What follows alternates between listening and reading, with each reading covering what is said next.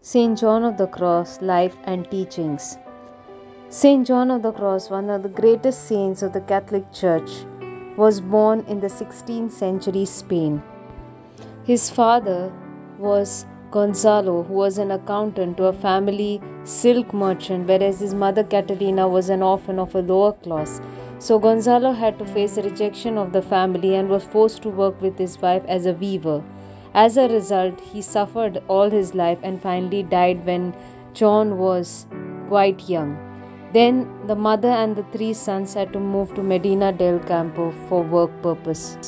John received a basic education and then studies humanities at a Jesuit school. At the age of 22, he entered the Carmelite order because he was greatly devoted to the Blessed Virgin Mary. At the age of 23, he finally traveled to Salamanca to study theology and philosophy, and finally, at the age of 25, he was ordained a Carmelite priest. During the 16th century Spain, reforms in the religious orders was ongoing. So Saint Teresa of Avila had already started reforming the Carmelite order. So when John found a new monastery for friars, which was the first opened by Saint Teresa, he quickly joined and changed his name to Saint John of the Cross. The first monastery was in Duruelo. Soon afterwards, others also joined and they were called Discalced. St. John of the Cross was a deeply spiritual man who had a very profound union with God. He was an excellent spiritual director and a confessor. So, Saint Teresa had appointed the prioress of the Monastery of Incarnation, and Saint John used to visit Avila and became her spiritual director and confessor to her 130 nuns in the monastery. He also accompanied Teresa in the foundation of the new monastery in Segovia, but later he remained in Avila. Some of the Calced friars were not in favor with the reform, so they had St. John arrested one day, and then he was brought before a court of the Calced friars in Toledo and accused of disobeying all the ordinances and received punishment of imprisonment. He was jailed in the Carmelite monastery where he was kept under brutal regimen and he was lashed before the community. He received harsh treatment in the prison. He was kept in severe isolation in a very tiny cell and he had no change of clothes and there was a small oil lamp and he had to stand on the bench to read his breviary by the small light that passed through the hole into the adjoining room. He had also severe punishments and very scanty diet of water, bread and scraps of salt fish. During the imprisonment, he composed a great part of his famous poem, The Spiritual Canticle, as well as other shorter poems. After nine months, he managed to escape through a small window in a room adjoining his cell. John was nursed back to health by Teresa's nun in Toledo and then in a hospital of Santa Cruz. Finally, the Carmelites demanded the Pope separate them from the rest of the Carmelite order. So John was appointed superior of Al Calvario, an isolated monastery of 30 friars, where he composed the commentary of his poem, The Spiritual Canticle. Then he moved to Baeza and served as the rector of the new college. On June 22, 1580, finally the Pope authorized the separation between the Calced and Discalced Carmelites, and John of the Cross was elected as the definitor of the community and wrote a set of constitutions for them. There were many houses of friars and nuns at that time and Saint Teresa died in 1582 and John was elected provincial vicar of Andalusia, a post which required him to travel frequently. And finally, he had some disagreements among the other friars, especially with Doria and his group of counselors, and so he was removed from his post. Immediately after, he fell ill due to a skin condition which aggravated and became gangrene and finally led to his death on December 14, 1591. Saint John of the Cross was one of the greatest mystics and poets of his time. One of the books which he has written is The Ascent of Mount Carmel. The book is based on how to reach perfection, union with God. It is a spiritual theology which is based on mysticism and he writes it out of his own experience of union with God with love. His main aim of spiritual life is union with God. He says, The sun shines on the window. God is ever present in the soul, communicating and preserving it in the natural being. But if the window is smeared with dirt, the sun does not illumine. Similarly, if the soul is smeared with inordinate affections for creatures and it is not prepared to meet God and His communication, so the measure by which the window is clean, the sun will illumine the window. In the same way, the soul, which is enamored with love, wipes away all its affections for creatures and conforms to divine will. That measure, God's communication and grace will touch it. If it is entirely clean window, then the sunlight illumines it and appears to be like the light. The nature of the window remains distinct. Similarly, a soul completely purified conforms entirely to God's will in love and it becomes like God. Yet in nature it is distinct from God. This is union and transformation in God. To love is to deprive oneself of all that is not of God. That is the main function of love is to conform human will to the divine will and direct all the soul's activities towards God.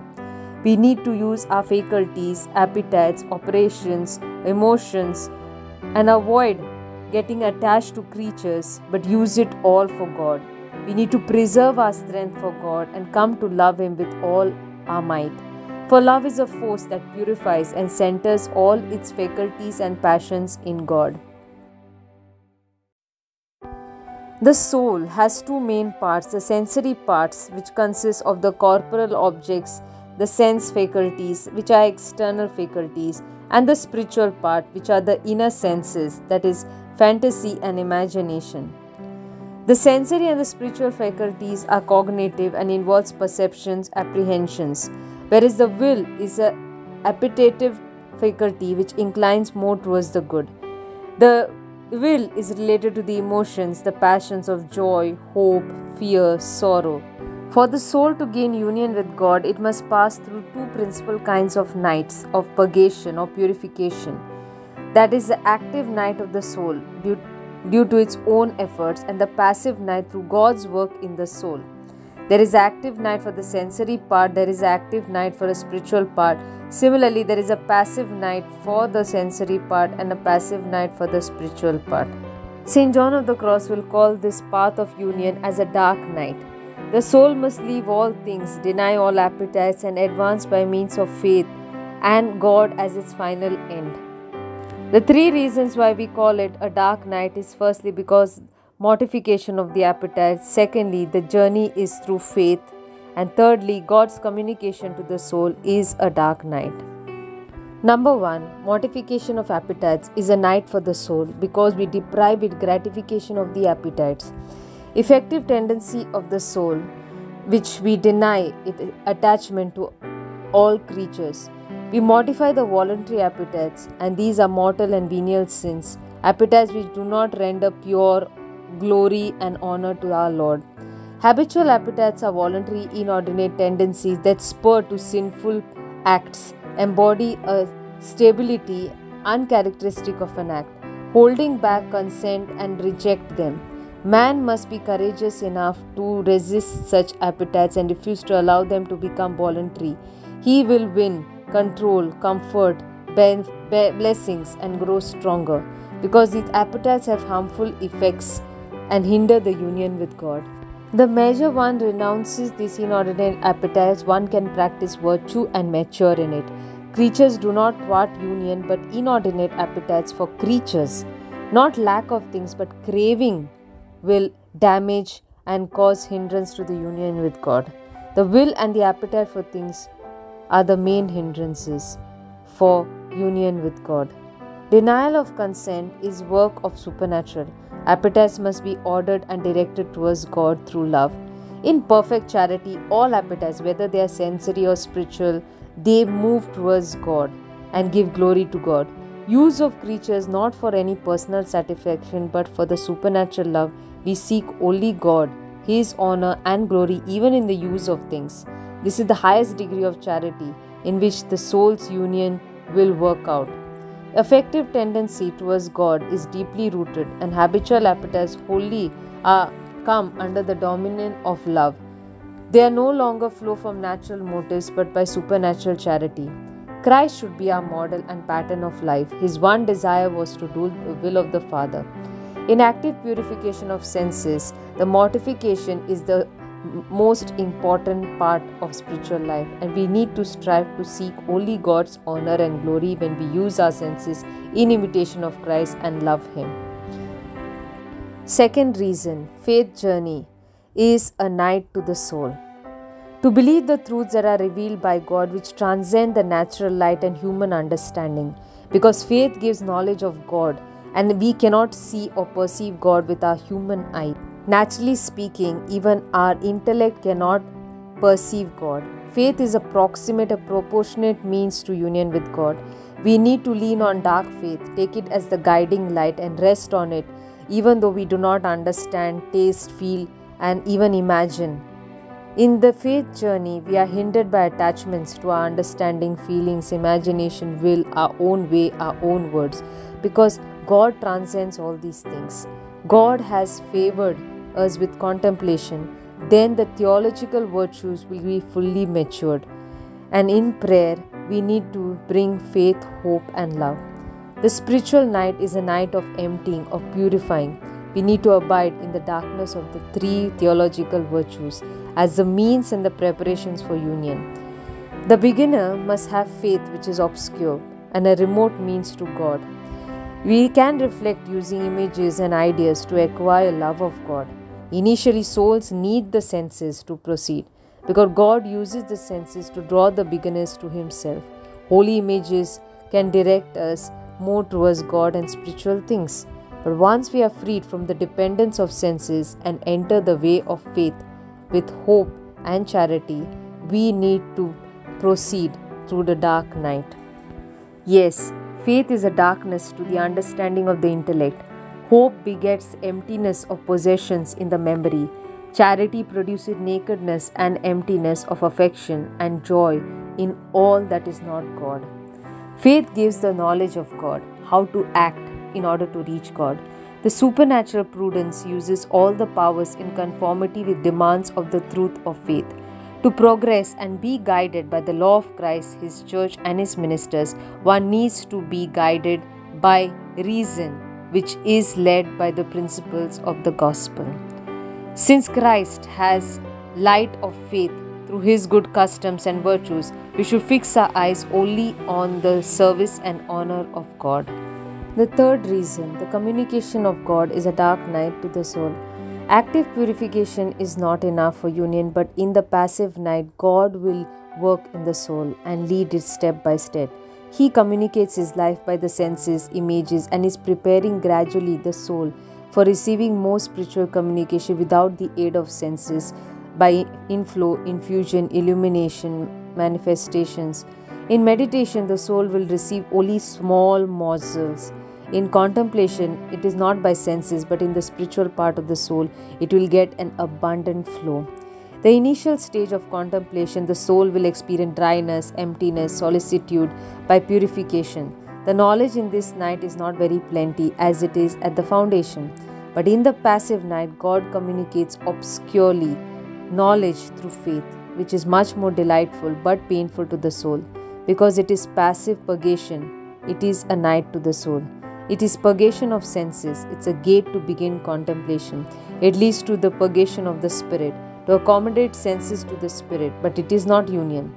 This is the main defect of the beginners, the signs of the initial contemplation, and the benefits of the purification. The force of purification, it will force out the imperfections in the soul and bring about a certain degree of union which is destined. The passive purification of the spirit. God will illumine the souls on its own wretchedness and increasing awareness of its of his purity and transcendence. It will generate a feeling of being abandoned by God and creatures, and it deprives the soul of any satisfaction in the actuation of the faculties. The soul will forsake want of satisfaction like one in the dark dungeon. Its bound hands, feet, unable to move and see, feel, favor anything on earth or in heaven. The soul is liberated of all the devices, habits, since there is no actuation or tendencies, everything will die down. The faculties are now prepared for the nat- supernatural. Feeling of being abandoned by God is intensified by the soul's inability to act with these faculties. There is intense love for God, a longing for Him and the soul can get frustrated. It is illumined by the intellect. There is love to the will and intensifies the soul's hunger and thirst for perfection and searches for ways to please God and win His favor. In love, all the appetites, faculties get no satisfaction of objects, but they are withdrawn from and concentrated only on God. There is no satisfaction found because God recollects them to Himself, strengthens the soul, gives capacity for stronger union of love by way of a purgation. This fire so dries up the spirit that it enkindles the soul for longing, for more thirst for love, and the soul will pine for God. In the thoughts, in all the business events, it will love in many ways. It will desire to suffer at all times and in all places. This dark love enkindles the souls to vigilance, interior solicitude of what to do, what to omit in order to please God. He ponders in the mind to please to soul's appetites, strengthen the faculties which are withdrawn from all things, and the strength is used only to pay homage to God. The soul is not inactive or ceases to love God, but there uses all the means it has in order to purify its love for God. The theological virtues on the soul are now purified and it lives as though it is transformed in God. The soul lives a natural life when it is with creatures, and when it is with God, it lives the life of God, which is the divine life, life of the new man. It turns from imperfect to God like creature. When entirely withdrawn from the imperfections in his operations, he will be wholly empty of creatures and pure, capable of receiving light, warmth, plenitude of God. The purification of all the senses and union will bring about the perfection in the soul. And the measure one empties and becomes void in the soul, that measure the Lord will fill the soul. It is a narrow path. We need to deny ourselves, take up the cross, and enter through the narrow gate. We need to strip off the old man and save our soul because of Christ. He wants us all for Himself. This is the resurrection. This is the perfection and being formed into the image of Christ. So, the call to the ascent is universal and not only for contemplatives.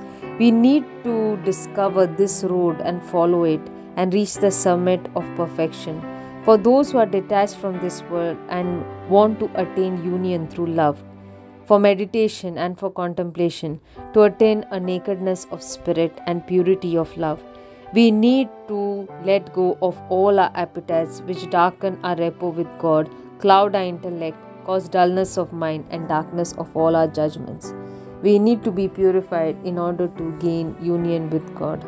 A life of faith, hope, and charity will uproot those things which do not unite us with God, and we will empty ourselves all that is not of God, especially the knowledge and remembrances uh, that do not give glory to God. We cannot set our joys, hopes, sorrows on goods of this world. It is necessary in prayer to turn from knowledge to attentiveness of God through faith. Then the dark, loving knowledge that is infused contemplation is given unto us. The intellect recollects by faith, and thus the Holy Spirit will illumine the intellect by mode of recollection. When images etc. come in turn to God with loving affection, we need to experience emptiness. So, the ascent is a journey of purification where we walk by faith, hope, and charity, practice virtues, and move ahead towards union with God.